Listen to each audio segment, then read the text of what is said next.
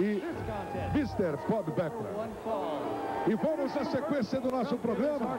Olha quem vem aí, direto de sua fazenda no Arkansas.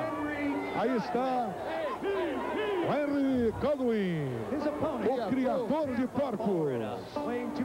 A lavagem, Valadares, a lavagem. Agora, você viu o corpo dele, meu amigo? Brincadeira, hein? Brincadeira, hein? Ele vai lutar com Mark Sperchetti na manchete, a grande jogada. Leia você também o Diário Popular, o jornal mais vendido nas bancas de São Paulo, o rei das bancas.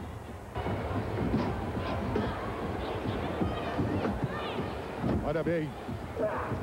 Passa de passagem o Henry Godwin.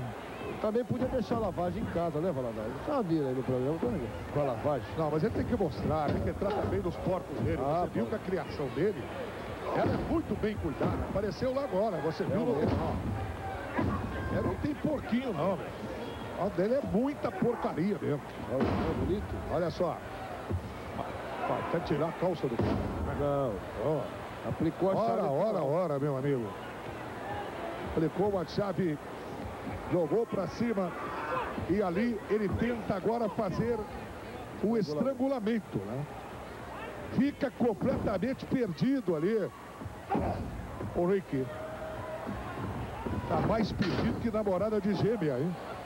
Nossa senhora, foi jogado lá no canto. E aí que ele não viu, fazer? porque essa daí, meu amigo, em falar que isso aí é brincadeira, vou te contar uma, uma história, viu? Ela foi lá e regaçou o outro lá no ringue lá. Ainda bem, Cabeçada. a cabeçada ali no meio. É um show da luta livre mundial Agora tá aqui no Supercat da Rede Manchete. Ele foi, focinhou, você viu, ele foi focinhando. Olha a cara de porco dele, ó. Ora, ora, ora. Ele focinhou e fez o fechamento.